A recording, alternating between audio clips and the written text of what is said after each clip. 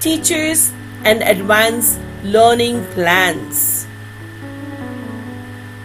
Do you have a student that poses unforeseen questions, generates complex abstract ideas, knows without working hard, is beyond their group of peers, prefers the company of intellectual peers? If so, you might have a gifted student in your class. This video is for you, the classroom teacher who may or may not have had a gifted student before. Your role with a gifted or possibly gifted student is very important and we want to share what that role is.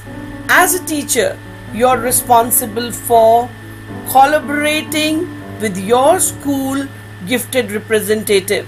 Gifted representative is a part of the inclusion team. Since goals are aligned with the classroom instructions, the classroom teacher of the identified area should be the primary writer of the students' achievement goals. So, be it in music, sports, or academics, the classroom teacher plays a very significant role. So, when we talk about reporting the student who's gifted to the inclusion team, the first person who works closely with the student is the teacher. As a teacher, you're responsible for being involved with the referral and identification process of a possibly gifted student. You may be the one referring the student to be evaluated. You may be asked to complete an observational scale such as the GES on a student, that is, gifted evaluation scale. You might participate in the review of your student's body of evidence for identification. Whether your student qualifies or does not qualify, or whether the school decides to put the student for the talent pool, but it is important for the child to get the recognition if he is different from other students. Gifted students can be identified as general or specific intellectual ability, specific academic aptitude, or specifically talented aptitude. So either they're talented or they're good in academics or they're very, very intellectual and have the leadership qualities. For each category, 95th percentile or above and or an exceptional or distinguished rating are used as a criteria for determining giftedness.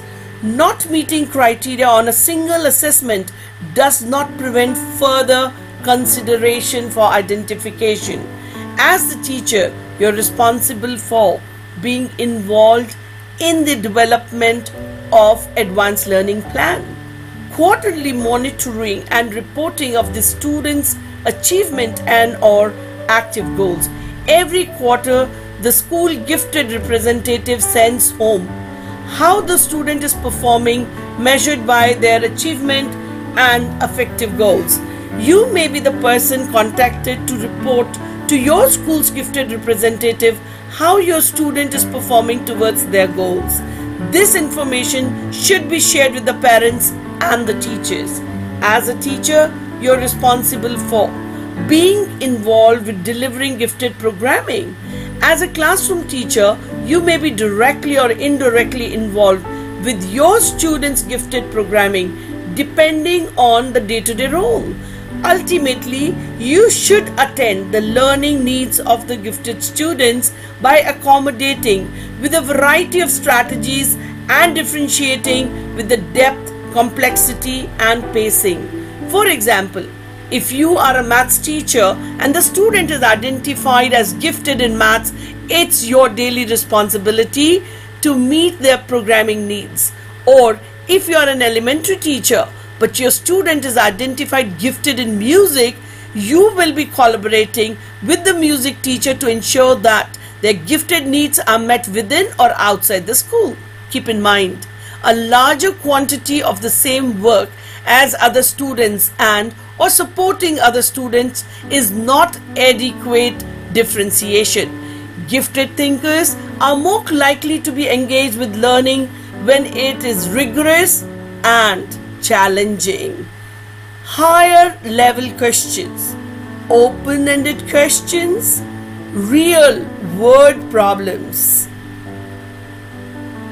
extensions, independent or partner projects are very significant strategies for the gifted students. To learn more about programming and options work with your school gifted representatives in the inclusion team. And that will make your students perform well.